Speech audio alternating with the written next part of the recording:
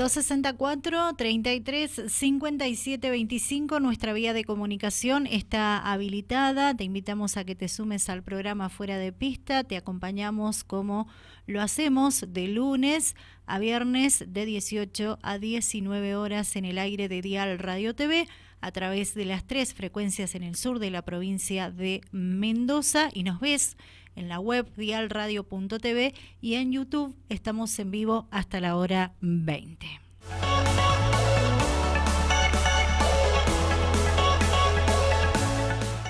Bien, eh, hoy tuve la posibilidad de conversar con Iván Maya, piloto de San Rafael, que participa en la categoría promocional Fiat del Zonal Cuyano y precisamente confirmó que no estará presente en la última fecha del calendario 2022 en el Gran Premio Coronación del Zonal, la cual se va a realizar este próximo 3 y 4 de diciembre en San Martín, Mendoza.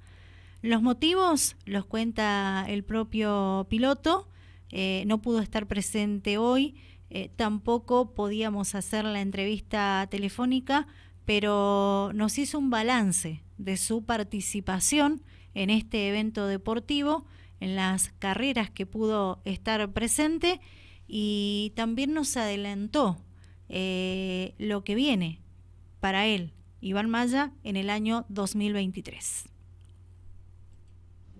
Hola Laura. Eh, sí, este año empezamos a correr en la promocional FIA del Zonal Cuyano eh, pudimos hacer no todo el campeonato, hicimos una parte, hicimos cuatro fechas hasta el momento. Y bueno, el balance fue un poco positivo eh, para ser el primer año, eh, ya que vamos, íbamos sin experiencia, tanto yo como piloto y el preparador, bueno, que siempre se ha dedicado a otro tipo de vehículo y bueno, esta era una incursión nueva para los dos. Eh, por lo menos sacamos varias conclusiones, fuimos mejorando.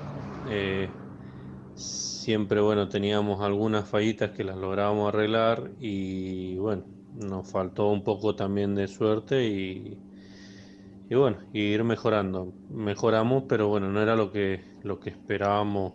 Eh, en, cada carrera, o sea, esperábamos un poco más, pero bueno, no se nos dio. Eh, bueno, este fin de semana ya teníamos todo preparado para, para la última. Y bueno, ahora último momento surgió un problema del preparador, unos temas personales de él, el cual no le permiten viajar. Así que decidimos, bueno, no, eh, no viajar porque de última podía viajar yo solo, pero no, no es lo mismo y, si surge algún drama o algún problema, eh, quizá no lo podamos solucionar. Así que bueno, decidimos eh, desertar la carrera y bueno, ya prepararnos para el año que viene. Vamos a ver por el tema de que este año los números han sido muy difíciles y el, y el año que viene por lo que se ve van a ser mucho más, más, difíciles. Eh, así que por ahora es muy incierto el futuro, pero bueno, lo vamos a tratar de, seguir en la promocional. Eh, ver si podemos eh, fabricar por lo menos una estructura nueva del vehículo, o sea, con todos los elementos que tiene, pero todo lo que sea chasis, tratar de hacer algo nuevo. Y bueno, y también tengo pensado eh, ver el tema del, del karting, si, si, no se puede la parte zonal, por lo menos, eh, como se dice, despuntar el vicio eh, con el karting, ya que es un poco más barato. Así que por ahora, bueno, es tratar de estar en el zonal cuyano de la primera fecha, tratar de hacer todo el campeonato.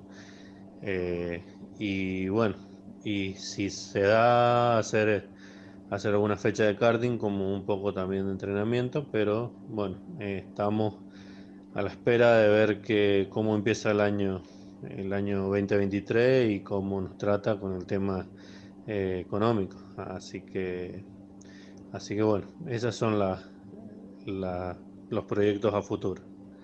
Así que bueno, te agradezco porque vos has estado todo el año eh, expectante de, nuestra carrera deportiva y, bueno, y ha sido uno de los medios que nos ha acompañado en la fecha que hemos podido estar para correr.